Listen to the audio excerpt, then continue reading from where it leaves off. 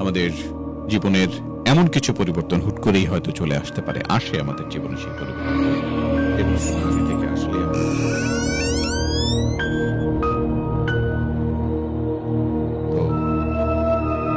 সেই পরিবর্তনগুলো আমাদের সামনে যখন আসবে, আমরা যখন সেগুলোকে প্রত্যক্ষ করব, উপলব্ধি করব তখনকার অনুভূতি কি হবে সেটা আসলে তখনই বোঝা যায়। কিন্তু অন্য কেউ ঘটনা শুনে গল্প পড়ে বা কারোর কাছ থেকে জেনে সেই অনুভূতিটুকু পায় না। তাই ঘটনা যেমনই হোক না কেন, যার সাথে ঘটেছে, আমরা সেই সময়কার সেই অনুভূতিটাকে শ্রদ্ধা করি। ফেসবুকে যারা যুক্ত আছেন, তাদের জন্য বলতে চাই, আপনার নিজের জীবনে ঘটে যাওয়া সেই অতি প্রাকৃতিক ঘটনাগুলো আমাদের সাথে শেয়ার করবেন। টেক্সট করে। আপনি জানিয়ে দিতে পারেন আমাদের সাথে যুক্ত আছেন, কিন্তু পুরো ঘটনা যদি শেয়ার করতে চান, তাহলে কিন্তু আর টেক্সট করে শেয়ার করলে সেটা আমাদের কাছে আসবে না। আসবে না বলতে পুরোটা ঘটনা আপনি একসাথে আমাদের শেয়ার করতে পারবেন না। তাই বলতে চাই, এই পুরো ঘটনা অডিওতে রেকর্ড করে আমাদের কাছে পাঠিয়ে দিন ইনবক্সে তাহলে আপনার নিজের কণ্ঠে আমি সেই ঘটনা সবাইকে শুনে দিতে পারব। চাইলে আপনি পুরো ঘটনা লিখেও আমাদের কাছে পাঠিয়ে দিতে পারেন, সেটাও ইনবক্সে পাঠাবেন, সবচেয়ে সুবিধা হয়। যদি আপনি ইনবক্সে পাঠান, তাহলে সবার সাথে সেই ঘটনাটা আমি পড়ে শুনিয়ে শেয়ার আরেকবার বলে দিতে চাই Facebook dot com slash capital F M nine four eight আমাদের অফিসিয়াল ভেরিফাইড পেজে যুক্ত হবে, প্রত্যাশা করছি। যারা যারা জয়েন করেছেন, তাদের সবার জন্য অনেক অনেক ভালোবাসা, ঠিক এভাবেই যেন ভালোবাসা থাকে সবসময়, সেই প্রত্যাশা করছি। আর হ্যাঁ যদি সরাসরি আমাদের সাথে যুক্ত হতে চান, ফোনে, তাহলে আপনি আপনার জীবনের সেই ঘটনাটা একটু রেডি করে রাখুন, যে ঘটনাটা আপনি শেয়ার করবেন। সেটা রেডি করে আমাকে একটা কল দেবেন, একটা নীরব, নিস্তব্ধ জায়গায়, যেখানে খুব ক্লিয়ারলি সবাই শুনতে পাবে। সেরকম একটা জায়গা থেকে ফোন করবেন যেন আপনার সাথে আমরা সরাসরি কথা বলতে পারি। Zero two double five zero three double six five nine এই নাম্বারে প্রথম বন্ধু আবু সফিয়ান শিহাব, তার ঘটনা দিয়ে শুরু করতে চাই আমাদের আজকের আয়োজন। এখন তো নতুন করে হচ্ছে তাবিদ সুতরাং এটা সবাইকে জানিয়ে দেবেন। আজকে শোটাকে আরও বেশি বেশি করে শেয়ার করবেন। যাতে করে সবাই জানতে পারেন যে এখন থেকে তাবিজ অনুষ্ঠিত হবে রাত বারোটা থেকে। এক শিহাব লিখেছেন, আসসালামু আলাইকুম ভাইয়া, আশা করি আল্লাহর রহমতে ভালো আছেন। আজকের ঘটনাটি আমার বন্ধু নাহিদের কাছ থেকে শোনা। ঘটনাটি নাহিদের বাবার সাথেই ঘটেছিল। তো কথা না বাড়িয়ে সরাসরি ঘটনায় চলে যায় আমার বন্ধু নাহিদ যেভাবে বলেছে সেইভাবেই বলছে। উনিশশো নিরানব্বই সালের ঘটনা। আমার বন্ধুর বাবার নাম সেলিম। সেলিম কেন্দুয়ার একটি ছোট গ্রামে তার পরিবার নিয়ে বসবাস করত। সে প্রতিদিনই সূর্যোদয়ের আগে তার বন্ধু সাদেককে নিয়ে মাছ ধরার জন্য বেলে যেত। একদিন প্রায় মাঝরাতে সাদেক এসে তাকে ডাকতে লাগল। সেলিম, ও সেলিম, মাছ ধরতে যাবি না? সেলিম তাড়াতাড়ি ঘুম থেকে উঠল এবং মাছ ধরার জাল এবং থলিটা নিয়ে সাদেকের সঙ্গে বিলের উদ্দেশ্যে রওনা দিল। আফসোস, সে তখন বুঝতে পারেনি যে আসলে তখন মাঝরাত অর্থাৎ সকাল হতে এখনও অনেক দেরি।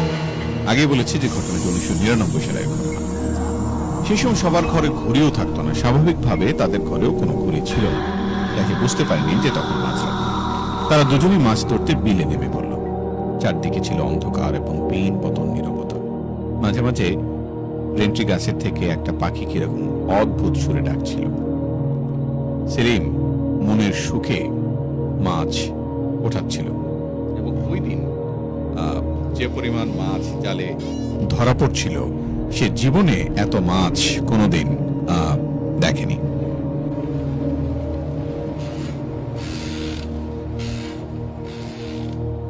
হঠাৎ তিনি লক্ষ্য করলেন যে মাছ থলের ভিতর রেখেছিল, তার একটাও সেখানে নেই। থলেটা শূন্য দেখতে পেল। অদ্ভুত ব্যাপার হলো, আশপাশের কোথাও তার বন্ধু সাদেককে সে দেখতে পেল না। এরকম একটা সিচুয়েশনে পড়ে তিনি দ্বিধাদ্বন্দ্বে পড়ে গেলেন। কিন্তু হঠাৎ এমন একটা দৃশ্য দেখতে পেয়ে তার চোখ কপালে উঠে গেল। দেখল সাদেক ডাঙায় বসে দুই হাতের মুঠোয় ভরে মুখে মাছ ভরছে। চপচপ করে মাছ গিলছে। এরকম একটা দৃশ্য দেখে আর কিছুই বোঝার বাকি ছিল না। কিন্তু তিনি সেটা বুঝতে দেননি যে তিনি সব বুঝে গিয়েছেন। তাই তিনি কৌশলে আস্তে আস্তে উপরে উঠে আসতে লাগলেন। এবং ডাঙ্গার কাছে গিয়ে দৌড়ে পালানোর চেষ্টা করলেন। কিন্তু অবাক করার ব্যাপার হলো, তিনি এক পাও সরাতে পারছেন না। সেখানে আটকা পড়ে গেলেন। তিনি এতটাই ভয় পেলেন যে তার শরীর প্রচণ্ড শীতেও ঘামে ভিজে যাচ্ছিল এবং দেহটা তার থরথর করে কাঁপছিল। গলা শুকিয়ে যাচ্ছিল। এই সময় তিনি কি করবেন কিছুই বুঝে উঠতে পারছিলেন না। এমন সময় সেই পিসাজটা একটা ভয়ঙ্কর রূপ ধারণ করল। বিদঘটে মুখে অট্ট হাসি দিল এবং তার আসল রূপ ফিরে এলো। এই পিসাজটা দেখতে কতটা ভয়ঙ্কর ছিল তা বলে বোঝানো যাবে না। পিসাজটির চোখ দুটো থেকে আগুন জ্বলছিল এবং শরীরটা আগে থেকে দুই গুণ আকৃতির হয়ে গেল। এরকম একটা ভয়ানক রূপ দেখে সেলিম সাহেব সেখানেই অজ্ঞান হয়ে গেলেন। এদিকে আসল সাদেক সেলিমের বাসায় গিয়ে তাকে ডাকতে লাগল। সেলিম সাহেবের বউ অবাকের প্রশ্ন করলেন, আপনি তো অনেকক্ষণ আগে ওনাকে নিয়ে মাছ ধরতে গেলেন। এখন আবার সব কি বলছেন? কোথায় রেখে এসেছেন? কথাগুলো শুনে সাদেক অনেকটাই অবাক হয়ে গেল। এবং সে বুঝতে পারল তার বন্ধু সেলিমের সাথে কিছু একটা হয়েছে। সে তাড়াতাড়ি গ্রামের সবাইকে নিয়ে বিলের দিকে রওনা হলো। তারা সেখানে পৌঁছে যা দেখল তা একেবারে মেনে নেওয়ার মতো না। তারা লক্ষ্য করলেন সেলিমের গলাটা কালো বর্ণ হয়ে গেছে এবং সে মাটিতে পড়ে আছে। তাকে দেখে বোঝা যাচ্ছে কেউ তাকে গলা টিপে হত্যা করতে চেয়েছিল। তাছাড়া বড় বড় নখের আঁচড় তাকে ক্ষত বিক্ষত করেছিল। গ্রামের মানুষ সময় মতো এসেছিল বলে জীবিত পাওয়া গিয়েছিল সেলিমকে। আল্লাহ রহমতে নাহিদের বাবা এখনও বেঁচে আছেন, কিন্তু তার গলা সে দাগগুলো এখনও রয়ে গেছে। এই ছিল আমার বন্ধু নাহিদের কাছ থেকে শোনা ঘটনা। আশা করি সবার ভালো লাগবে। অসংখ্য ধন্যবাদ শিহাব আপনাকে। এবং ঠিক এভাবেই প্রত্যেক সপ্তাহে যুক্ত থাকবেন সেটাই প্রত্যাশা করি। F M nine four eight আমাদের অফিসিয়াল ভেরিফাইড ফেসবুক পেজে আপনার উপস্থিতি প্রত্যাশা করি। সেই সাথে আজ তাবিজ নতুন করে শুরু হয়েছে। তাবিজে আপনার উপস্থিতি, আগেই বলছিলাম যে আপনি নিশ্চয়ই আপনার উপস্থিতি দেখতে চাই। অনেকেই মনে করছিলেন যে আজ তাবিজ অনুষ্ঠিত হবে কি হবে না। নতুন নিয়মটা বলেই দিলাম। আগামী সপ্তাহ থেকে তাবিজ শনিবারে রাত বারোটায় শুরু হবে। এবং একটা পর্যন্ত চলবে ইনশাল্লাহ আজকে আমাদের সাথে যেসব বন্ধুরা যুক্ত আছেন, অডিওতে তাদের কথা এবার বলব এবং তাদের অডিওগুলো একটু প্লে করতে চাই এক এক করে। প্রথমেই দুটো অডিও পাঠিয়েছেন কাজী ইয়াসিন আহমেদ আলাইনি। তার দুটো ভিডিও, অডিও আমরা প্লে করব। তারপরে বাকি যারা আছেন, তাদের অডিওগুলো আমরা শুনব, তারা কি বলতে চান? আসসালামু আলাইকুম অরুণ ভাইয়া। আমার দ্বিতীয় ঘটনাটা হলো আমার সম্পর্কে একজন মামা লাগে উনি থাকে জয়সী আচ্ছা এটা দ্বিতীয় ঘটনা। আমি ওনার বিষয়ে যে বলবো- যেটা বলব মানে এই যে গত রোজার ঈদের সময় রোজার ঈদের অর্থাৎ মানে ঈদের আগের দিন রাত্রে আল্লাহ পাক নাকি সকল জিনদেরকে বা খারাপ জিনদেরকে মুক্তি করে দেয়। তো সেটার উদ্দেশ্য করে আমি বলতেছি যে আমার ওই মামা ওনারা নাকি মানে যে মাঠ বলে মানে পাথরে খেত যে জায়গায় বলে ওই জায়গায় ওনারা মানে সারাবাড়ি বলে একটা গ্রাম আছে মানে একটা জায়গা আর কি সারাবাড়ি বলে। ওই জায়গায় ওনারা কি করছে? মামাদারা তো অনেক বড়। তো মামারা একজন বয়স হবে বাইশ পঁচিশ এরকম বয়সের সকলে। তো বলল যে আয় কালকে তো ঈদ আমরা সকালে পার্টি করব। তো ওনারা কথা যেরকম কথা যেরকম কাজ। ওনারা পার্টি করতো। মানে যা কিছু লাগে প্যান্ডেল করছে তারপর আপনার বিভিন্ন মানে যা কিছু লাগে আর কি পার্টি করতে গেলে। হুম। তো ওনারা মানে পার্টি করতে করতে এক সময় রাত্র একটা কি দুইটা বেজে যায়। তো ওনারা আবার বিরিয়ানি পাক করছে যে আমরা সকলে ওই জায়গায় বসে বিরিয়ানি খাব। তো ওনারা যে বিরিয়ানি খাবে, তো এই সময় রান্না করছে আবার পাত্রেই, ওই জায়গায় করছে মানে খেতে সারা বাড়িতে, ওই জায়গায় রান্না করছে সব কিছু করছে। তো করে যে সময় ওনারা খাবার খাবে, বলছে যে আজকে তো মানে কালকে তো ঈদ, তো এখন তো ঘুমাই যেতে হবে, এত রাত পর্যন্ত সজাগ থাকতে পারব না। চল আমরা শেষ মানে একটা ডান্স করি মানে কি বলে যে কোনো একটা গান গান দিয়ে ওরা ডান্স করছে। তো শেষ ডান্স যে সময় করবে, এর আগে নাকি মামার একজন ছোট ভাই ছিল, ওর নাম হলো রিফাত। তো ও নাকি বলছে, ভাই, আমি একটু প্রসাব করে আসি। প্রসাব করে আসি বলতে, ও সরি একটু কথা যে ওই জায়গাটা মানে যেই জায়গাটায় ওনারা পার্টি করছে, ওই জায়গাটার পশ্চিম দিকে মানে ঘন জঙ্গল, বসত ঘন বসত জঙ্গল ওই জায়গায়। আর আপনার ইমনে আপনার আবার কি বলে, দক্ষিণ দিকে আবার একটা অনেক বড় কবরস্থান, কবরস্থানের পাশে বাসজার অনেক কিছু আছে। আর বাকি যে জায়গাগুলো আছে, ওই জায়গাগুলো ফাঁকা। মানে একটু নার্ভাস টাইপের। তো উনি যে সময় বলছে যে আমি প্রসাব করে আসি, তো তারপরে প্রস্রাব করে আসার পরে তো বলতেছে যে ভাইয়া, আমার তো শরীরে ভালো লাগতেছে না, প্রস্রাবে ধরছে, আমি আবার যাব। তো বলে, যাও তুমি তাড়াতাড়ি চলে আসো। তো উনি প্রস্রাব করতে যে সময় গেছে ওনারা তো না মানে ডান্স করতে আছে এক সময় এক পর্যায়ে দেখা যেতেছে ওনার মনে হলো কিরে ও রিফা তো কোন সময় গেল প্রস্রাব করতে কিন্তু এখন আসে না কেন? তো পরে লাইট দিয়ে অনেক খোঁজাখুঁজি করতে সবাই তো ওনারা ড্রাইস বন্ধ করে বাড়িতে এবং বিভিন্ন আত্মীয় বাড়িতে মানে এই সময়টার ভিতরে কাছে বাড়িতে যা আছে যে এত অল্প সময় তো ও কোনো জায়গায় যাইতে পারবে না। সকলের আত্মীয় আছে খোঁজখবর নিতেছে অনেক জায়গায় দেখতেছে। তো বলে কেউ বলে না আমাদের বাড়িতে তো আসি নাই তো সব জায়গায় খোঁজার পরে ভাইয়া ঈদের দিন সকালবেলা ওকে ওই জায়গায় অজ্ঞান অবস্থা পাওয়া যায় পরে বাড়িতে এনে ওনাকে জিজ্ঞেস করে তো বলল যে রাত্রে তোমার সাথে কি হয়েছে?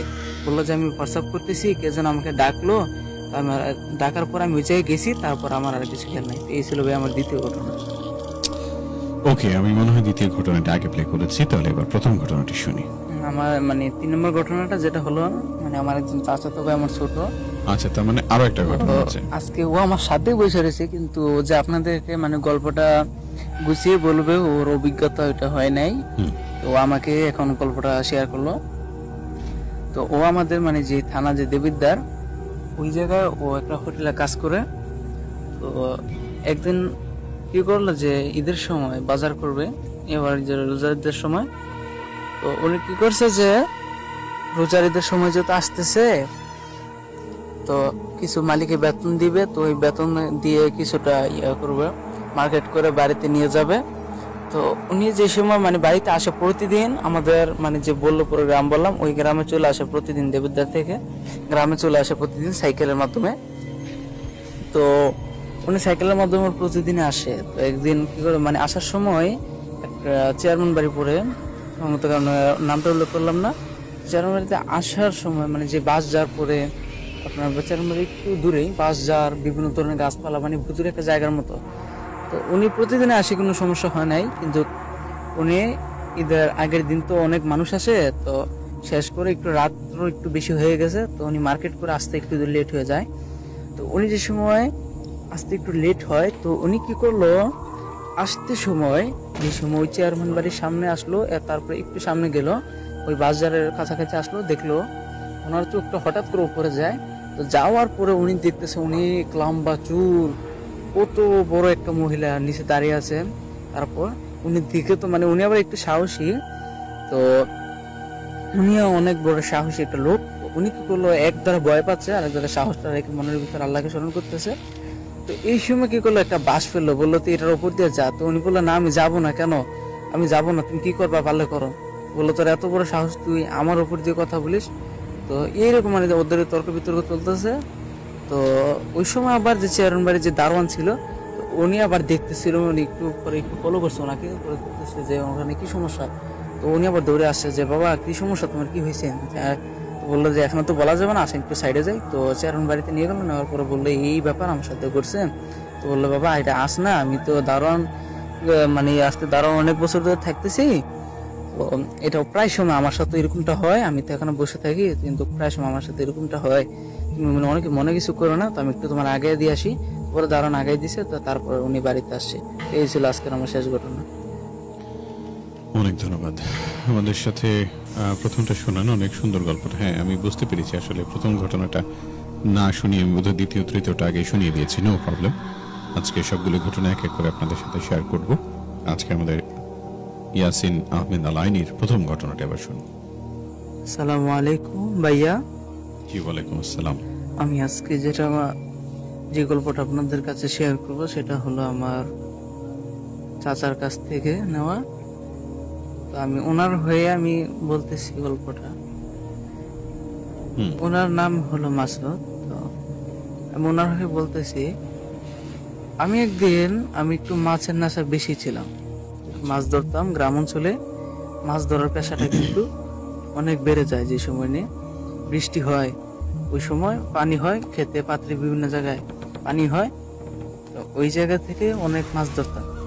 তো মাছ যে ধরতাম রাত্রে যাইতাম আপনার রাবের যে টিন রাব যে গরুরে যেটা খাওয়ায় ওই রাবের টিন দিয়ে মানুষ মাছ ধরে গ্রাম অঞ্চলের মানুষ।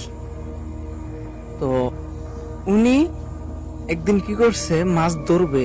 আজকে অনেক প্রচুর পানি হয়েছে, তো আমার ওই চাচার নাম হলো মাসুদ, তো ওনার একজন সাথী বন্ধু আছে, ওর নাম হলো সিয়াম। তো সিয়াম বলল যে, দেখ মাসুদ, যদি তুই মাছ ধরিস তাহলে আমাকে ডাইকা নিস বা আমি তোকে আইয়া ডাক দিব। সাবধান, আব্বু আম্মু যদি জানে তাহলে বিষয়টি একটু বাড়াবাড়ি হবে এবং কি তারা খারাপ মনে করবে। এখন আমি কি করব? তোকে ডাক দিব এসে, তাহলে তুই আমার দরজা খোলা, আমার সাথে যাস। তো মাসুদ বলল আচ্ছা ঠিক আছে। পরের দিন যেটা হলো যে রাত্রে যে সময় ভাইয়া, আনুমানিক ওই সময় মনে হয় বাজে একটা, দুইটার দিকে হ্যাঁ এরকম বাজে সময়টা হবে।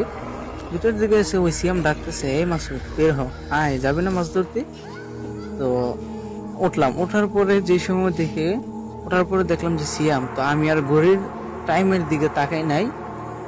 তো ঘড়ির টাইমের দিকে না থেকে আমি মনে করছি যে একটু মানে ঝিকঝিকে আলো আছে তো মনে হয়তো ফজর আজান দিয়ে দিছে তো আমি কি করলাম? ওর সাথে সিএমের সাথে বের হয়ে গেলাম। বের হওয়ার পরে যেটা হলো তো আমি আবার একটু স্মোক করতাম। তো একটু পর পর মানে আমার চাচা স্মোক করতো তো উনি আবার একটু পর পর একটা একটা মানে যেটা বলে সিগারেট এটা একটু ধরায়। তো যেই সময় নিয়ে উনি স্মোক করতে যায় অর্থাৎ আমি ওনার হয়ে বলতেছি যেহেতু যে আমি যে সময় স্মোক করতে যাই ওই সময় দেখা যেতেছে মানে আমার বন্ধু যে সিয়াম ও আমার থেকে অন্তত পাঁচ থেকে ছয় হাত দূরে থাকে। তো উনি যেহেতু আমার কাছ থেকে এক থেকে পাঁচ হাত দূরে যেতে এত দূরে থাকতেছে তো আমি এতটা আমলে নেই নেই তো যে সময় আবার আমার যে স্মোক করা বন্ধ হয়ে যায় তো ও আবার আমার সাথে আসে। এরকম করতে করতে এক সময় আমার চোখগুলো সিয়ামের পায়ের নিচে গেল। দেখলাম পরে সিয়াম হাওয়ায় বাঁচতেছে ওর নিচে কোনো পা নেই। তো আমি ভয়ে চিৎকার দিয়ে সোজা বাড়ির দিকে এক দৌড়ে আসলাম। তারপরে ও পিছন থেকে বলল আজকের মতো বেঁচে গেলি। আর কোনো দিন এরকম হলে দেখবি তোদেরকে সুযোগ আমি কোনো একটা ক্ষতি করে ছাড়বো। তো তারপরে বাড়িতে আসলাম আসার পরে দেখতেছি আব্বু আম্মু সকলে চিন্তিত হয়ে রয়েছে। তো পরে দেখতেছি আবার তো বলল যে হ্যাঁ তুমি কই গেছিলা? বলে আমাকে সিয়াম ডাক দিছিল অর্থাৎ সিয়াম নয় সে অন্য কেউ ছিল। তো পরে আবার বলছে যে হ্যাঁ সিয়ামও তো এসে তোরে ডাকছিল পরে আমরা তো ওরে ডাক দিতাম যে দেখলাম যে তোর দরজা খোলা এই কারণে সিয়াম আসছিল। তো পরে অবাক হয়ে যায় তো পরে আমি আর বুঝার বাকি ছিলাম না যে ওটা কি ছিল তো আজকে এই ছিল ঘটনা। আর ভাইয়া আমি সরাসরি বুদ্ধি স্টুডিওতে আপনাদের যে ক্যাপিটাল এফএমে আমি ওই জায়গায় সরাসরি আসতে চাই ভাই. কীভাবে আসতে পারব ওইটা একটু জানেন ভাই আমার জন্য উপকার হবে আসসালামু আলাইকুম। ঠিক আছে আমি ইনবক্সে আপনাকে লিখে দিচ্ছি আপনি কীভাবে আসবেন? স্বাগত জানাচ্ছি আপনাকে। অনেক অনেক ধন্যবাদ আমাদের সাথে যুক্ত থাকার জন্য। Facebook dot com slash capital F M nine four eight আমাদের অফিসিয়াল ভেরিফাইড ফেসবুক পেজ এখানে আপনি জয়েন করতে পারেন। আমাদের আরও একটি ঘটনা আছে সেটা একটু শুনে কি আছেন আমাদের আসসালামু সাথে আলাইকুম ভাইয়া। ওয়ালাইকুম আসসালাম। আমি গাজীপুর থেকে বলছিলাম। জি। আমার নাম মুস্তাফি হাসান মুহিত। জি জি। তো আজকে আমি আমার একটা ভৌতিক গল্প আপনাদের কাছে শেয়ার করতে যাচ্ছি। নিশ্চয়ই। এই গল্পটা হয়েছে আরও তিন চার বছর আগে যখন আমি আরও ছোট ছিলাম। ঘটনাটি হয়েছিল আমার গ্রামের বাড়িতে তো শীতকাল ছিল। সাধারণত শীতকালীন মেলা বিভিন্ন জায়গায় হয়, আবার গ্রামেগঞ্জে আরও বেশি। তো সেই দিনই আমরা একটা পৌষ মেলায় যাচ্ছিলাম। সেদিন মানে সার্কাস ছিল আমাদের বাসা থেকে প্রায় আট নয় কিলোমিটার দূরে। আমি আর আমার ভাই, আমরা দুজনই সার্কাস দেখতে গিয়েছিলাম। তো আমরা ভাবলাম বিকালবেলা যাব, তাড়াতাড়ি চলে আসব বেশি দেরি হবে না। হয়তো সবার কাছে অনুমতি নিয়ে গেছিলাম। তো সার্কাস শেষ হতে হতে প্রায় রাত বারোটা, এরকম বেজে গেছে। এখন আমরা রাত্রেবেলা সাইকেল নিয়ে গেছিলাম। তো রাত বারোটা একা একা আসতেছিলাম আমরা দুজনেই। যদিও আমাদের কাছে মোবাইল ছিল, এখন অনেক দূর রাস্তা আমরা প্রায় চলে আসছি আরও ছয় কিলোমিটার বাকি আমাদের বাসায় আসতে। তো আমার চাচাতো ভাই বলল যে, অনেক দূর তো রাস্তা দিক দিয়ে শর্টকাট রাস্তা আছে, আমরা চলে দিক দিয়ে যাই। পরে আমি বললাম যে, যেহেতু অনেক রাত হয়ে গেছে আচ্ছা ঠিক আছে, চল, এই রাস্তা দিয়ে যাই। পরে যেই কথা সেই কাজ আমরা ওই রাস্তা দিয়ে ঢুকে পড়লাম। তো আমাদের বাসায় আসার সময়, আমাদের বাড়িতে আসার সময় আর কি একটা অনেক বড় বাঁশঝাড় পরে দিনের বেলায় ওখানে আলো করে না। অনেক কাহিনী আছে ও জায়গার। তো আমি ভাবলাম যে ওই রাস্তা কি না পরে ওকে জিজ্ঞেস করলাম, ওই রাস্তা নাকি? পরে বলল যে ওই রকমই একটা রাস্তা। আমি বললাম যে, এত রাতের বেলা ওই রাস্তা দিয়ে আসা ঠিক হবে কি? বাবা আরে সমস্যা কি মোবাইল তো আছেই। এদিক দিয়ে আসতে সময় হবে না। পরে শীতের রাত, কুয়াশায় ঝলম মানে কুয়াশা দিয়ে রাস্তাঘাট ভর্তি। আমরা সাইকেল নিয়ে যাচ্ছি। আমাদের মোবাইলের আলো আবছা আবছা হয়ে আসতেছে। তো ওই সাইড দিয়ে আবার নদী, আমাদের গ্রামের ওদিকে, তিস্তা নদী, সাইড দিয়ে নদী। তো আমরা যখন ওই বাস ধরে ঢুকে, আমি তখন তাকে আবার বললাম যে, ভাই দেখ এখানে আসাটা কি ঠিক হবে? ওই বলল, না, সমস্যা নেই, চল লাইট তো আসে আচ্ছা ঠিক আছে, তাহলে আল্লাহ আল্লাহ করে যাই। পরে অর্ধেক বাস ঝাড় পার হতে না হতেই হুট করে একটা বাস আমাদের সামনে এসে পড়ল। চমকে উঠলাম আমরা যে, এটা কি হলো? আমরা অনেক ভয় পেয়ে গেলাম যে, এটা কি হলো? পরে আমাদের সাইকেলের চাকাটাও পাংচার হয়ে গেছিল। বললাম যে, দেখ, আমি নিষেধ করছিলাম রাতের বেলায় কি ঝামেলা না হয়ে যায়। পরে বলল যে এটা কি হবে? এটা জানতাম। আচ্ছা চল, দেখি কি করা যায়। তো রাতের বেলা এমনিতে অনেক ভয় পাচ্ছিলাম। আবার আরও ভয়টা বেড়াই দিল। তো আমরা ওই সাইকেল নিয়ে আমরা যাচ্ছিলাম। হুট করে প্রচুর বাতাস আসতেছিল যে, এটা কি বাতাস? তোরা বোঝে সাধারণ নদীর পাড়ে বাতাস হতেই পারে স্বাভাবিক। দেখলাম যে আমাদের পিছনে, আমাদের পিছন, পিছনে একজন সাদা কাপড় পরা মানুষ অনেক ভয় পেলেন যে কি এই এটা কি? তারা আমাকে বলল যে, এই, পিছে তাকাইস না, পিছে তাকাইস না। এটা আমাদের দিকে ধেয়ে আসতেছে বারবার, শুধু আমাদের দিকে তো অনেক ভয় পেয়ে গেলাম যে আমরা তাড়াতাড়ি করে যাই। আমরা যত তাড়াতাড়ি যাচ্ছি, ওরা আমাদের দিকে তাড়াতাড়ি যাচ্ছে। এমন করতে করতে আমরা বাস ঝাড়টা পার হলাম। যেই বাস ঝাড়টা পার হলাম, আমাদের পিছন ছেড়ে গেল। আমরা বাস যাচ্ছে আমাদের স্কুলের পার বলে। স্কুলের পার পার হয়ে ওইদিকে চলে আসছি এখন আমাদের সেরকম একটা ভয় লাগতেছে না। ওখানে মোটর সাইকেলের শব্দ কে আসবে তো ওই দেখি যে আমার চাচা আসতেছে। পরে বলছে, এই এত রাতে তোমরা এখানে কি করো? পরে বললাম যে, আমরা সার্কাস দেখতে গেছিলাম। আমরা সার্কাস দেখতে গেছিলাম। তো এই রাতের বেলা এই রাস্তা দিয়ে এসে এই কাহিনী হয়েছে। তো সাইকেলটা আজকে স্কুলের বাড়ি রেখে যাও। মোটরসাইকেলে চলো, আমরা একসাথে যাই। দেরি হবে। অনেক রাত হয়ে গেছে। তখন প্রায় রাত একটা দেড়টা শীতে একদম কুয়াশায় ঢাকা পুরো এলাকা। মানে আমরা মোটরসাইকেলে করেই যাচ্ছিলাম। মানে যেতে যেতেই আবার অনেক দূর চলে গিয়েই আমরা বলল, খালু মানে চাচু হুট করেই বলল যে, এই, নামো। এখন নামতে হবে। আমি বললাম যে, ভাষা তো সামনে। এখানে নেম- নামবো কেন? ওই যে, না না, নামো। একটা মোটর সাইকেল ঝামেলা গেছে এইটা কি ঝামেলা গো, এখন বড় মানুষ তোমাদের আমাদের কোথাও মান্য করলেও তো হয় না। পরে বলছে তোমরা তোমরা দুজন যাও আমি আসতেছি। পরে আমরা দুজন চাচুর কথা শুনে আমরা বাসে শুনলাম কি এটা কি হলো চাচুর আবার। পরে বাসায় এসে দেখলাম যে চাচু তো ঘরেই। চাচু সেদিন সন্ধ্যার আগে ঘরে ফিরছে এখন চাচু তো ঘরেই ছিল। এখন আমাদের সাথে রেখে আসলো।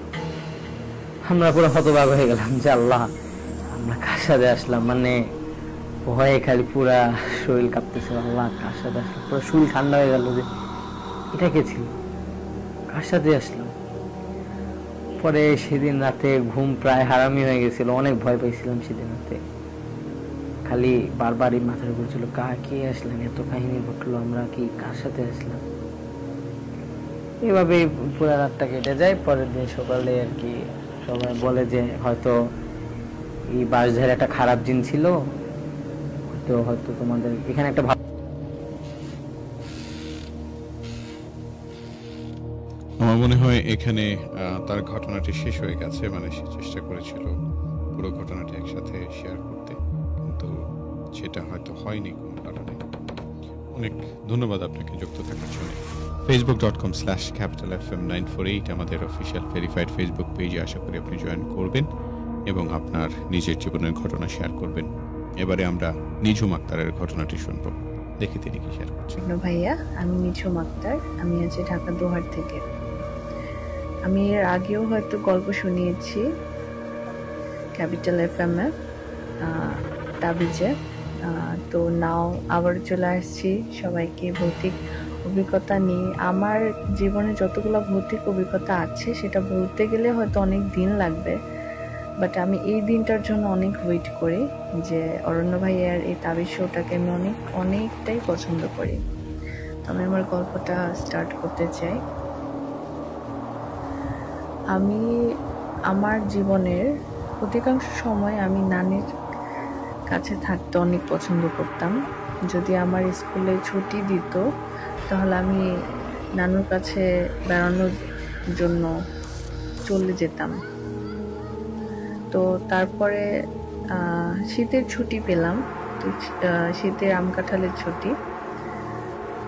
নানি বাড়িতে গেলাম মার সাথে বেড়ানোর জন্য। তারপরে একদিন আমাদের যে নানা বাড়ি আছে। ওটার মানে নানা বাড়ির সাথে একটা অনেক বড় একটা বট গাছ আছে। আর বট গাছটা ছিল, আমরা যে রুমে থাকতাম, সেই রুমের জানালার পাশে। এরপর আমি একদিন আমার মার সাথে মানে ওই বটগাছটার সাথে যে রুমটা ছিল, আমরা যদি ছুটিতে নানা বাড়িতে যেতাম ওই রুমটার মধ্যে আমাদের থাকতে হতো। কারণ ওই রুমটা থাকতে আমরা বেশি পছন্দ করতাম। এর কারণ হচ্ছে ওই রুমটায় জানালা দিয়ে হাওয়া বাতাস আর ওই রুমটা ঠান্ডা ছিল সেজন্যে। এরপর আমার মার সাথে আমি রাতে ঘুমোতে যাই। তখন আমার বাবা একটি সরকারি চাকরি করতো, তো সেই জন্য বাবা আসতে পারে নাই। তো মার সাথে ঘুমোতে চলে যাই। এরপর আমি যেখানে ঘুমাই, সেখানে হচ্ছে জানালাটা। আমার কান বরাবর জানালা। আর জানালার পাশেই হচ্ছে সেই বট গাছ। তো অনেকেই জানে হয়তো বট গাছের মধ্যে ভূত থাকে। আর আমি এগুলো বিশ্বাস করতাম না। আমি ভাবতাম যে এগুলা লোকে বানিয়ে বলে। এরপর আমি মার সাথে ঘুমাই। তখন বাজে রাত সাড়ে বারোটা।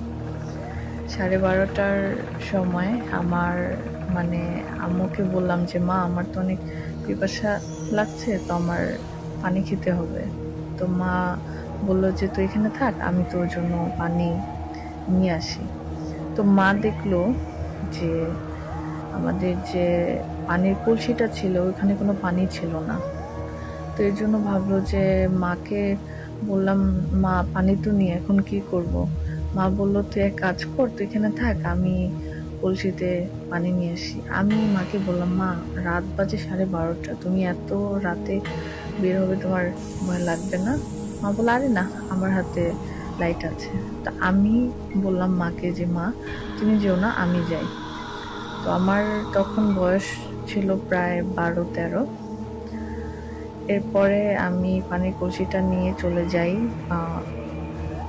আমাদের আর্সেনিক মুক্ত কলে, ওইখানে মানে যেখানে বটগাছটা ছিল, তার অপোজিটে ছিল মানে পানির কল। তো ওইখানে পানি আনতে যাই। তো যখনই কলটা চাপ দিতে গেছি আমি, আমার কাছে মনে হলো কি যে বট গাছের ওপর থেকে কে কে যেন বসে বসে আমার কাছে এমন ফিল হইতেছে যে কান্না করতেছে। বিষয়টা বুঝতেছি, আবার ভাবলাম যে এত রাতে কে কান্না করবে এখানে? হয়তো আমার এটা মনের ভুল। তো পানি চাবাতে লাগলাম। যতই চাবাই ততই কান্নার আওয়াজটা বেড়ে যাচ্ছে। তো এরপর আমি ভাবলাম যে কি বিষয়টা আমার দেখতে হয়। তখন যখন আমি গাছের ওপরে তাকালাম, দেখলাম যে কিছু নাই। তো এরপর আমি আবার কলে চাপ দিচ্ছি। তো আবারও আমার কাছে সেম ঘটনা। যে আবারও কান্নার আওয়াজটা পেলাম। তো এবার আমি ভাবলাম যে আমার হাতে তো টর্চ আছে, আমি লাইট মেরে দেখি যে কান্নার আওয়াজটা ওপর থেকে আসতেছে, ওপরে একটু লাইট মেরে দেখি যে কিছু আছে কি না বা কি মানে এটা কি সত্যি আমার মনের ভুল না কি তো আমি যখন বট গাছের মধ্যে লাইট দিই, তখন আমি দেখতে পাই যে কিছু একটা মানে বসে আছে, ঠিক আছে? মানুষের মতো আকৃতি দেখতে পাচ্ছি, কিন্তু আমার কাছে মনে হচ্ছে এটা মানুষ না। এটা জন্তুর মতো একটা কিছু কান্না করতেছে। আর আমি এটাও দেখতেছি যে যখন কান্না করতেছে, চোখ দিয়ে হয়তো পানি পড়ে বাট তার চোখ দিয়ে পড়তেছে লাল লাল রঙের মতো কি জানি মানে লাল টাইপের কিছু একটা। তো যখন সেটা মাটিতে পড়ল, আমি সেটা লাইট দিলাম যে কি এগুলা কি করতেছে। তখন আমি সাহস করে লাইট দিয়ে দেখলাম এটা মানে লাল লাল, কোনো কিছু না এটা হয়তো একটা ব্লাড তো মানে রক্ত। তো এরপরে যখন আমি এটা দেখলাম, তখন আমি একটা চিৎকার দিছি আর আমার চিৎকার শুনে আমার আম্মু ঘরে থেকে চলে আসছে যে, কি হয়েছে মা, তুই চিৎকার কেন দিলি? আমার ঘরে আমি একলা বলতেছি আমার একটু ভয় লাগতেছে। তো তখন তো তখনকার এক্সপিরিয়েন্সটা বলার কিছু না যে যেটা এক্সপিরিয়েন্স করলাম সেটা মানে এতটা ভয়ঙ্কর যে আমার গাছ মানে গায়ের পশম দাঁড়িয়ে যা- মানে যাচ্ছে। কথা বলতে আমার আওলাইতেছে আহ, এটাই ছিল আমার এরপরে মানে আমার মা আমাকে অনেক ধরে ঘরে নিয়ে সোরা টোরা আয়তুল কুর্সি পরে ফু দেয়। তো এরপরে আমি মার সাথে ঘুমাতে যাই ঠিকই কিন্তু সেই রাতে আমার প্রচুর জ্বর ওঠে। তো জ্বর ওঠার পরে ঘরে নাপা ছিল নাপা খাইছি। এরপরেও জ্বর কমতেছে না। এরপরে অনেক কবিরাজি মানে আহ, আমি যে ওইখানে অবস্থানরত ছিলাম এরপরে যে বলে না যে ফকির ফকির তো অনেক ঝাড়ফুঁক করার পরে ইনশাল্লাহ আমার সব কিছু নর্মাল হয়েছে। তো এটা ছিল আমার লাইফে একটি ভয়ানক একটি ঘটনা। তো আশা করি সবার ভালো লেগেছে। আর আমি ভীষণ যখন বলতেছিলাম তখন অনেক ভয় পাইছি। তো ধন্যবাদ সবাইকে।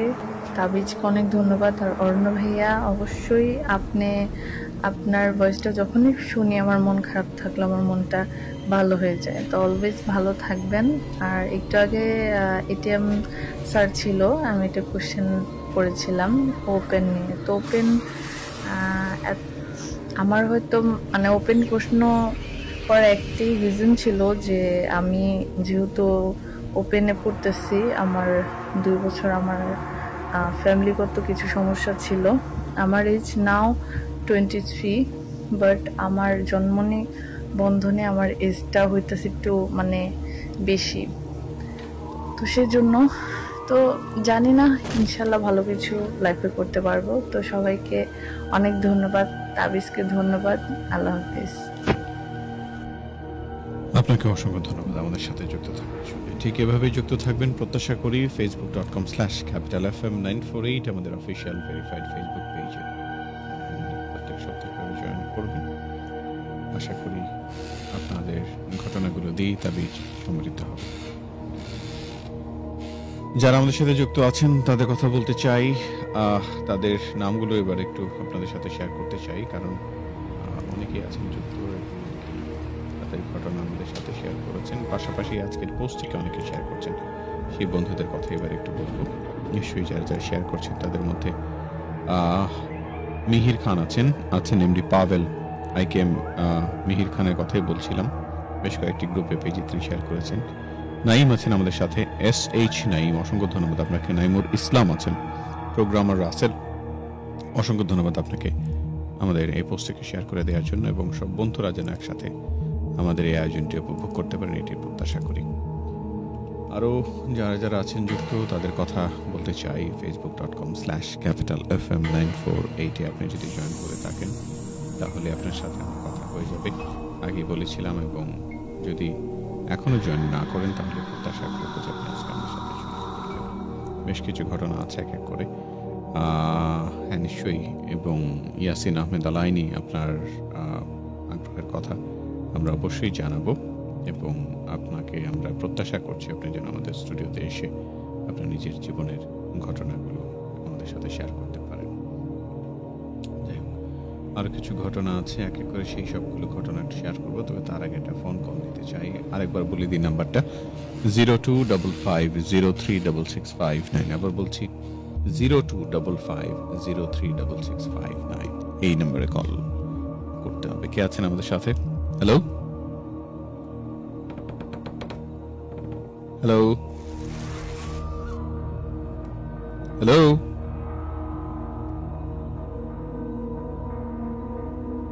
আমি শুনতে পাচ্ছি না। আমার মনে হয় কেউ নেই আমাদের সাথে।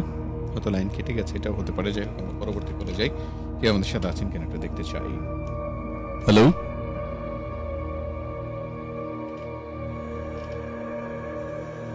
হ্যালো শুনতে পাচ্ছেন? হ্যালো না, এই কলটি আমরা পাইনি। আরেকটা কলে যেতে চাই। কে আছেন আমাদের সাথে? নেক্সট ট্রাই করে দেখি। হ্যালো না, খুব সম্ভবত কোনো একটা সমস্যা হয়েছে। যাই হোক, আমাদের সাথে যার যারা যুক্ত আছেন, অসংখ্য ধন্যবাদ। সবাইকে সঙ্গে থাকবার জন্য ঠিক এভাবেই জয়েন করবেন, প্রত্যাশা করি। তাবিজ আপনারা, আবার আমাদের সবার আয়োজন। এই আয়োজনে আপনার উপস্থিতি প্রত্যাশা করছি এবং আরেকটা ঘটনা আপনার সাথে শেয়ার করব। শেখ মাহমুদ রানা তার ঘটনা। তারপরে আবারও। দেখি মাহমুদ রানা আমাদের সাথে কি শেয়ার করছেন। আসসালামু আলাইকুম সবাই ওয়ালাইকুম আসসালাম। আশা করছি আপনি ভালো আছেন আমিও আলহামদুলিল্লাহ ঠিকঠাকই আছি। আলহামদুলিল্লাহ। আমি শেখ মাহমুদ রানা গাজপুরের জয়দেবপুর থেকে। আমি আজকে তাবি যে ঘটনা পাঠাবো একটা এটা তাবি যে আমার চব্বিশ নম্বর একটা ঘটনা। আর আজকে আমি যে ঘটনাটা বলব এটা আমার ওই জেঠার আরেকটা ঘটনা। এই ঘটনাটা খুবই ভয়াবহ।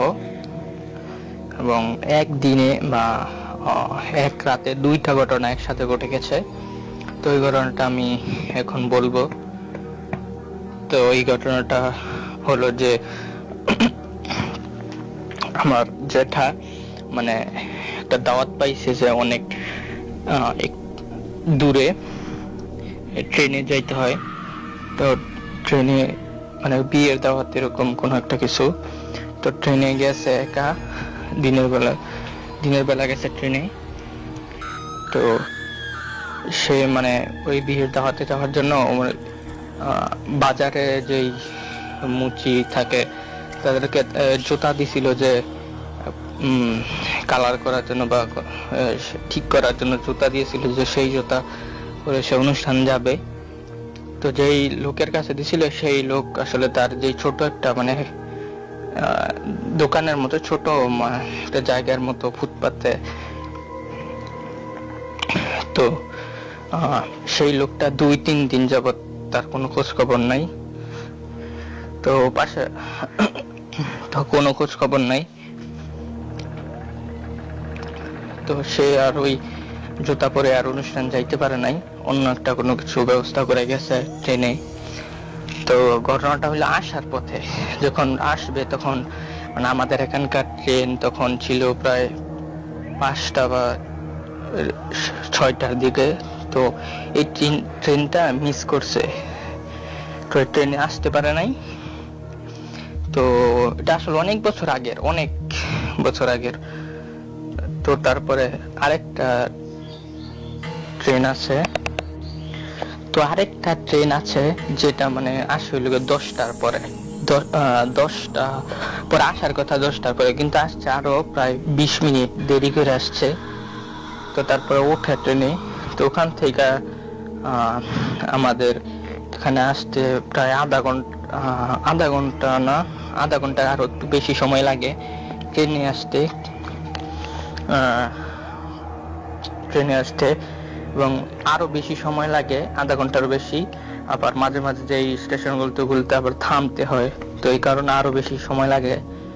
তো ঘটনাটা প্রথম ঘটনা যেটা, এটা ঘটে ট্রেনের ভিতরে। মানে যখন আমাদের এখানে আসবে আমাদের এলাকার যে স্টেশনে, এখানে আসার আগের, এর আগের স্টেশন, সেখানে সেখানে যখন আসে, ট্রেনটা থামে তখন কিন্তু রাত আর আগের দিনে প্রায় অনেক রাত ট্রেনে সেই যেই অংশে মানে আমার জ্যাঠা উঠেছিল, সেই অংশে শুধু জ্যাঠাই ছিল, আর কোনো লোক ছিল না। আর কোনো লোক নাই, শুধু জ্যাঠাই ছিল। তারপর দেখল ওই স্টেশন থেকে একটা মানে মহিলা, একটা মহিলা আর সাথে একটা বাচ্চা, ছোট বাচ্চা। তো ওই ওইখানে ওঠে। তো আমার জ্যাঠাশুর ভাবে এত রাতে একজন মহিলা, আবার সাথে ছোট একটা বাচ্চা। তখন সে মানে ভাবে হয়তো তারই মতন হয়তো কোনো ট্রেন মিস করছে এই জন্য হয়তো এই ট্রেনে উঠছে।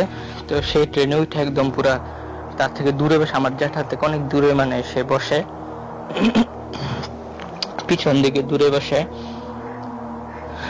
তো আমার জ্যাঠা মানে ভাবে তো ট্রেন তো খালি, তো মানে দূরে বসছে এটা মানে তার একটু খটকা লাগে। তারপরে মানে আরেকটু পরে মানে সেখান থেকে আমাদের স্টেশনে আসার জন্য আসতে প্রায় পনেরো মিনিটের মতো লাগে। পনেরো মিনিট, তো এই পনেরো মিনিট যে কীভাবে আমার যেটা কাটাইছে, এটা আসলে খুবই ভয়ানক ভাবে কাটাইছে। তো যাই হোক তারপরে একটু পরে তো মানে আমার জ্যাঠা মানে মানে ট্রেনে উঠলে একটু জিম জিম ভাব থাকে, যেরকম ঘুমায় পড়বে এরকম। তো ঘুম পাইতেছে, তো ঘুম পাইতেছে মানে ঘুমায় পড়বে। এরকম সময় একটা শব্দ শোনে যে ছোট বাচ্চার ওই চিপস, বিস্কিট এরকম টোস্ট, বিস্কিট এরকম কোনো কিছু চাবেলে যেরকম শব্দ হয়। তো আমার জ্যাঠা ভাবে যে বাচ্চাটা তো অনেক ছোট, আবার কোলে ছিল এই বাচ্চা কীভাবে মানে চিপস খায়? এর তো আর কখনো মনে হয় না দাঁত উঠেছে। এরকম শব্দ।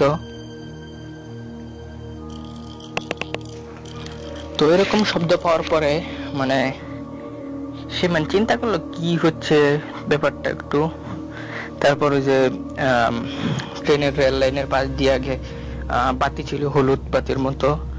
তো তখন ওখান থেকে মানে ট্রেন যখন যাচ্ছে, তখন ওখান থেকে হালকা একটু আলো, পরে ওই মানে মহিলার দিকে তখন আমার জ্যাঠা পিছন দিকে তাকায়। তাকিয়ে দেখে ভাই, প্রচুর মানে ভয় পায়। দেখে যে ওই মহিলার চেহারাটা যেরকম পোড়া মানে পুড়ে গেছে এরকম। তারপরে পুড়ে গেছে এরকম, আর ওই মহিলাটা ওই বাচ্চাকে মানে হাত হাত চাবায় গেছে, হাতের আঙ্গুলগুলো দেখছে, চাবাচ্ছে। তো এটা দেখে মানে ভয় পায়। মানে আমার জ্যাঠা কিন্তু বুঝতে দেয় না যে সে দেখছে বা কোনো একটা কিছু করছে। তো বুঝতে দেয় নাই। তো সে আবার পিছন দিকে থাকে তার ভাই একদম পুরা ঘাম বের হচ্ছে। শরীর দিয়ে প্রচুর পরিমাণে ঘামছে সে তো মানে এই তার তখন মনে একটাই কথা যে কখন মানে স্টেশনটা আসবে আর সে মানে লাভ দিয়ে পড়বে ওই জায়গায়। তো এই মুহূর্তে মানে আমার জেঠি তখন ফোন দেয়। তো তখন ছিল ওই যে নোকিয়া মোবাইলগুলো, যেগুলো আগে হলুদ ডিসপ্লের ছোট মোবাইল বাটন সেট তো তো ফোন দেয়। তো ফোন দেওয়ার পরে মানে আমার জ্যাঠা একটু সাহস পায়। তো জেঠ ফোন দেয় যে, কোথায়? এত দেরি হয়ে গেছে, রাত হয়ে গেছে। কি খবর? কোনো কোনো খোঁজ খবর নাই বলতেছে, আমি আসতেছি। আমি রাস্তায় আছি। তো এটা বলার পরে মানে কাইটা দেয় কথা আমার জেঠির সাথে কথা বলার পর একটু মানে মনে একটু সাহস আছে। তো মানে এই মানে তার মাত্র এই দশ পনেরো মিনিট কীভাবে যে আমার যেটা মানে কাটাইছে, তার মনে হয়েছে যে সেই দশ মিনিটে দশ বার আরও মারা গেছে, এরকম এরকম মনে হয়েছে। তো যখন ট্রেনটা যখন থামে, তখন মানে থামার মানে থামতে একটু তো দেরি লাগে না। আস্তে আস্তে তো থামে। সে মানে হালকা মানে এখনও চলতেছে। সেখান থেকে মানে লাভ দেওয়া পারে নিচে। একটু হাতে মানে ব্যথা পায়। হাতে একটু ব্যথা পায় হয়ে যায় শুইলা যায়। তো তখন সে তাড়াতাড়ি মানে বের হয়ে আসে, দৌড় দৌড় দেয় বাইরে। দৌড় দেয় বাইরে, দৌড় দেওয়া বাইরে আসে। তারপর অল্প একটু হাঁটলো ওই যে বলছিলাম যে জুতা দিছিল একটা মুচিকে। তো সে ওখানে বসে। সে ওখানে বসে দেখে যে তখন ভাই সাড়ে দশটার উপর প্রায় এগারোটা মানে বাঁচতে চলছে এরকম সময়। তো সে দেখে যে ওই মুচিটা ওখানে বসে আছে। তো মুচিটা বসে আছে, পরে গিয়ে জিজ্ঞেস করতেছে যে দমকাইতেছে যে, বোকা টাকা দিতেছে যে, কই আছিল তোর কোনো খোঁজ খবর নাই? তোকে একটা কাজ দিছিলাম, এখন দেখ তোর জন্য আমি যাইতে পারি নাই সেই জুতা পইরা। তো এগুলো বলতেছে, তো বল কই আমার জুতা দে, এখন জুতা দে। পরে সে পাশ থেকে ওই দুইটা জুতা দিল। জুতা যখন সে হাত দিয়ে দিল যে জুতার মধ্যে শুধু রক্ত হয়ে পড়া মানে রক্ত। তো এটা দেখো রক্ত করতে মানে এটা মানে হাত থেকে ফালাই দেয় জুতা। তারপর দেখে মানে সে তার চেহারা দিকে খেয়াল করে নাই বেশি, শুধু কথা বলতেছে, তার চেহারা নিচের গেছিল যখন দেখে, তার তার চেহারা মানে একদম পুরো রক্তাক্ত। তারপর দেখে যে ওই মুচির মানে চেহারা একদম পুরো রক্তাক্ত অবস্থা। তো ওইটা দেখে মানে তো আরও ভয় পায়। সে তো মানে আগেও মানে ভয় পাইছে, এই জন্য মানে তার ভয়টা মানে আরও বাড়ে। সে ভাই এরকম জোরে দৌড় দেয়, ওখান থেকে মানে জুতা ফালায়, জুতার তো কোনো খোঁজ খবর নাই। তো সে এত জোরে জোর দেয় যে দৌড়তে দৌড়তে একটা মানে মোড়ের ওখানে আসে। একটা জায়গায়। তো সেখানে আবার মানে একটা চায়ের দোকান ছিল, চায়ের দোকান। তো মানে ব্যস্ত এলাকা থাকায় মানে ওই জায়গায় বা বিভিন্ন মানে কলেজ তারপর কলেজের বিভিন্ন ছাত্রছাত্রী ওই জায়গায়, ছাত্ররা ওই জায়গায় থাকে মানে বাসা টাসা নিয়ে থাকে বাড়ি। তো ওই জায়গাটা মানে চায়ের দোকান খোলা থাকে। চায়ের দোকান প্রায় বারোটা পর্যন্ত খোলা থাকে। তো সেই দোকানের ভিতরে ঢুকে যায়। তো ঢুকে যায় তো ঢুকার পরে চার দোকান হলো ব- বলে যে মানে আমার যেটাকে চিনতো মানে সে ওখানে মাঝে মাঝে চাটা খাইতো গল্প করতো। তো বলতো যে, স্যার কি হয়েছে আপনার? কি হয়েছে মানে আমার যেটা আবার বিএসটি অফিসার ছিল তো বলতেছে কি হয়েছে ভাই? কি হয়েছে স্যার? কি হয়েছে আপনার? এত রাতে কি কোনো কিছু দেখছেন নাকি? কি হয়েছে আপনার? তো বলতেছে যে, আমার সাথে এরকম এরকম একটা ঘটনা ঘটলো। ট্রেনে, ট্রেনের ঘটনাটা বলল যে বল যা আপনি এত রাত্রে আসছেন, আপনার সাথে এরকম একটা ঘটনা ঘটছে। আপনার এত রাত্রে আসলে আসাটা ঠিক হয় নাই। তো বলে যে, আরে, তারপরে যে ওইখানে একটা মুচি আছে না, আমার যেটা বলে যে, ওই জায়গায় একটা মুচি আছে না, ওর অবস্থা এরকম দেখে আমি প্রচুর ভয় পাই। মুচি? কোন মুচি? মানে ওই চার দোকানের লোকটা জিজ্ঞেস করে। তা বলছে ওই যে ওই যে বিদ্যুতের খুঁটির ওইখানে যে একটা লোক বসে ওইটা। তো ওইটার আপনি দেখছেন কীভাবে? মানে চায়ের চায়ের দোকানের লোকটা বলে যে, দেখছেন কীভাবে? দেখছি মানে ওর মানে ওর কাছে গেছেন কেন? আমি ওরকে তিন চার দিন আগে মানে জুতা দিছিলাম। তো ওই জুতা নেওয়ার জন্য গেছি। কয়, আপনার কি মাথায় এটা আসে নাই যে এত রাত্রে ওই ওই মুচিটা কি করব ওইখানে? তো বল যে আসলেই তো। তো আবার আপনি ওকে দেখছেন কীভাবে? ও তো মারা গেছে। মারা গেছে মানে কীভাবে মারা গেছে? বল যে আর এও তো আরও মানে দুই তিন দিন আগে মারা গেছে। ওই সামনের সামনের যে মোড়টা আছে, ওই জায়গায় নাকি একটা ট্রাকের সাথে অ্যাক্সিডেন্ট হয়ে মারা গেছে। তো কি আপনি দেখছেন কীভাবে? পরে আর তো সে আর কোনো কথা বের হয় না। আমার জেঠার মুখ থেকে তো কোনো কথা বের হয় না, যায়। কি হয়েছে পরে কয়, পরে মানে ওই চার দোকান লোকটা আচ্ছা আপনি আসছেন এখানে, বসেন, আমি এখানে চা দিয়ে আপনি চা খান। পরে চাটা খাইলো, চা খাইয়া তারপর বলেছে ঠিক আছে, আপনি যান, দেখেন সাবধানে যান। তারপর আমার জেঠা বাসায় এসে পরে বাসায় এসে পরে আর এইসব কথা কাউকে বলে না। এসব কথা কাউকে বলে না। পরের দিন মানে আমার জ্যাঠার একটু শরীর খারাপ হয়, তারপর আবার সুস্থ হয়ে যায়। তো এরকম ঘটনা আসলে অনেকের সাথে প্রায় ঘটে থাকতে পারে। যারা রাত বিরাত বিভিন্ন জায়গায় যায়। তো এরকম ঘটনা যাতে আপনাদের সাথে না ঘটে, এরকমই এরকম ভাবেই থাকবেন। আর অরুণা ভাই, আপনিও ভালো থাকবেন। আর এই তাবিজের লাইভ যাতে প্রতিবারই হয় সেটা আশা করি। এবং এটাই। আর আমি মাঝে মাঝে আসলে ঘটনা আসলে লিখে পাঠানোর চেষ্টা করব কারণ অডিও রেকর্ড করার সময় বা জায়গা আমি এখন পাই না কারণ কলেজে থাকি আবার পড়ার চাপ বিশ তারিখ থেকে আমার পরীক্ষা। তো মাঝে মাঝে আবার লিখেও পাঠাবো। তো সেদিকে খেয়াল রাখবেন। ভাই আসসালামু আলাইকুম। ভালো থাকবেন। ওয়ালাইকুম আসসালাম। অসংখ্য ধন্যবাদ আপনাকে। ঠিক এভাবে যুক্ত থাকবেন এবং এরই মাধ্যমেই আজ আমরা তা তাবিজ থেকে বিদায় নিতে চাই ইনশাল্লাহ আগামী সপ্তাহে ঠিক একই সময়ে, শনিবার রাত বারোটায় উন্মোচিত হবে রহস্য রোমাঞ্চের দুনিয়ার আরও অনেক ঘটনা, অনেক পর্ব। আজকের মতো এখানে বিদায় নিচ্ছি। সবাই ভালো থাকুন, সুন্দর থাকুন, আনন্দে থাকুন, শুনে থাকুন capital F M ninety four point eight. আজকের মতো এখানে বিদায়, শুভরাত্রি। Thank you.